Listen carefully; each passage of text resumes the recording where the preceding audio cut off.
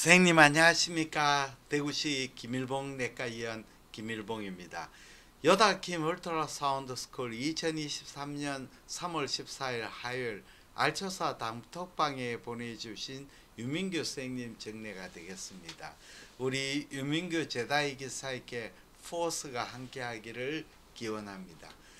May the force be with Dr. 민규 유 58세 남성으로 1년 전에 어, 담석이 발견됐고 또한 작은 담낭 용정이 진단되었습니다. 이번 초파 검사에 슬로치 볼인지 또는 담낭 선종, 담낭암이 의심되는 병변이 보입니다.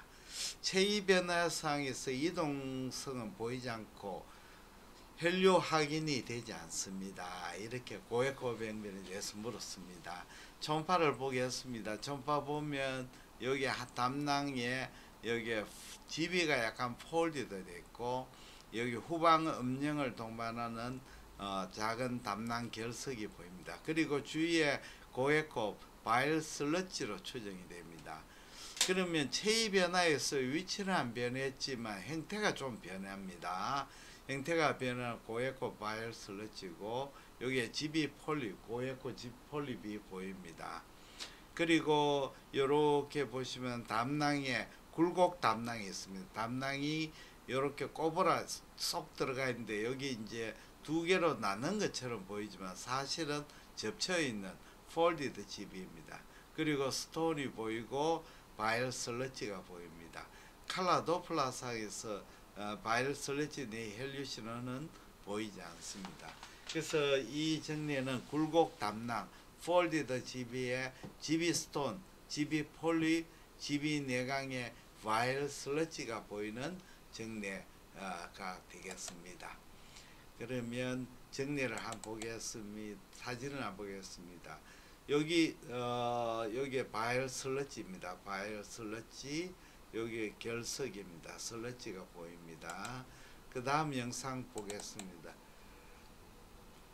요 슬러지입니다. 슬러지가 보이고 요 요거는 어요 여기 어 슬러지고 여기 바일 슬러지가 고에코로도 보이기도 하고 제에코도 보이기도 합니다. 제에코로 보이기도 합니다. 예. 슬러지입니다.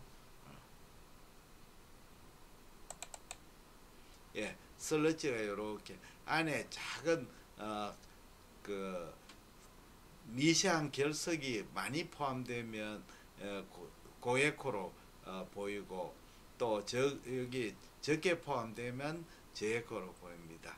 슬러지 형태가 변하고 어, 있습니다. 자, 요거 sludge 보십시오. 요 형태가 변하고 있죠. 요거는 아, stone입니다. stone입니다.